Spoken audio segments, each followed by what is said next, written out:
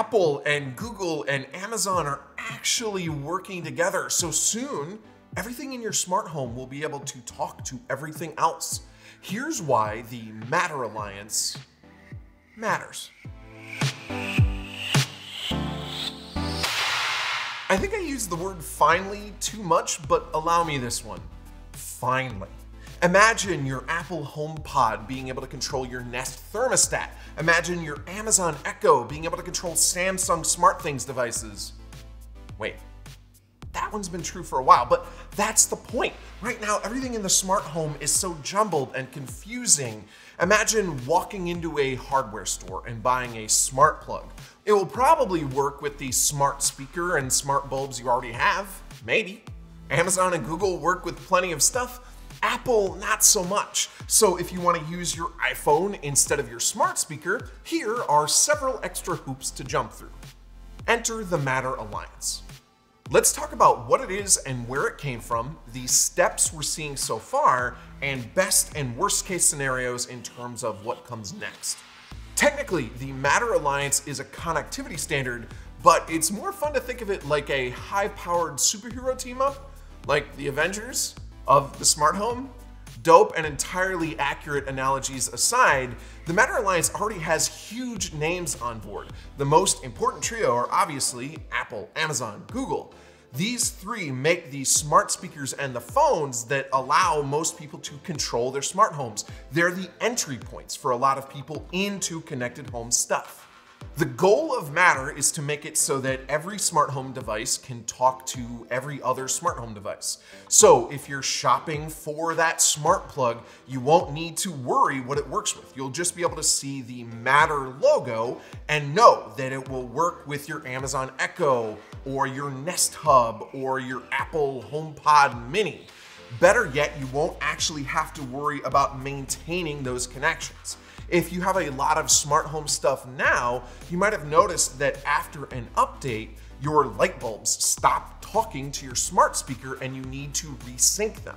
That shouldn't happen with Matter. It'll get easier for consumers by also making it easier for manufacturers. I mentioned the big three, but think about a tech startup. They'll be able to focus more on the nuts and bolts of the actual product. They don't need to add compatibility and jump through hoops for each of those major platforms. They can just add Matter compatibility and they're done, and they don't need to worry about alienating huge swaths of their potential fan base. It could also make it easier for startups by letting them skip the part where they make an app you should be able to set up Matter compatible products using your platform of choice. So you don't need to download a dozen different apps and fill your phone with bloat. Use that Amazon app that you use to set up your Echo to also set up your smart lock. Matter Alliance is open source, so it's easy for programmers to access and use the code. It's been in the works for a little while now. It used to be called the Connected Home over IP or CHIP. While we all love an acronym, Matter Alliance is definitely a better name. And that new name debuted just a couple of months ago as it officially launched. The Connectivity Standards Alliance is on board to make sure the different devices can talk to each other. That alliance also used to go by a different name, Zigbee. If you recognize that name, it's because Zigbee is already built into a bunch of small smart home sensors and plugs because Zigbee takes a lot less power than Wi-Fi. Aside from the big three and Zigbee's new look alliance, here's a handful of other names already on board. SmartThings, Huawei, Comcast, IKEA, and Kroger for some reason.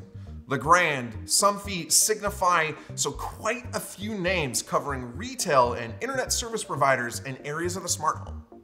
Shortly after Matter went public, we saw the first big concrete steps at Google and Apple's respective developer conferences. At Google I.O., the search giant said that you'll be able to control your Nest Learning thermostat using Apple's HomeKit smart home platform. So you can use your Apple HomePod to change the temperature of your Nest, which is pretty cool. And Google said that you'll be able to use their smart displays and smart speakers to control all Matter products. So they're in, both in terms of giving and receiving commands from Matter. In turn, at Apple's WWDC, they announced that Matter will be built into iOS 15, which is the upcoming operating system for iPhones. And they also showed that you'll be able to give commands to Siri using an Ecobee thermostat. And supposedly, Ecobee is just the first third party device that you'll be able to use to talk to Siri. Now, you still are going to need to have a HomePod nearby to make that work.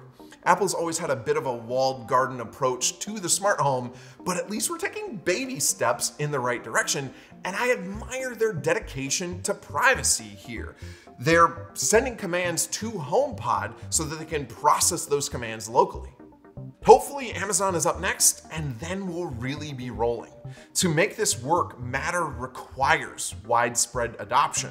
They're doing and saying the right things to make that possible, and if it's spread out, we could see a more seamless smart home that requires less thought on the part of consumers and less committed resource on the part of startup developers.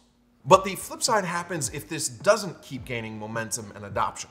There's a well-known webcomic that talks about how many communication standards there are and how confusing it all is. So they decide to fix the problem by creating one to rule them all, and the end result is just another one added to the pile. Thanks, XKCD. It is early days for Matter, but there are a lot of great signs already. Not only are the big three on board, but they're using their own megaphones to talk about it. So I'm hopeful, maybe even by the end of the year, the smart home could be a more seamless place and have everything working together and rainbows and unicorns and happy dances. And yeah, it's a sweet dream and it could all evaporate, but there's legit reason to think it might actually happen this time. So let me know what you think. Is this actually going to live up to the hype? Is it going to be more or less satisfying than Infinity War and Endgame?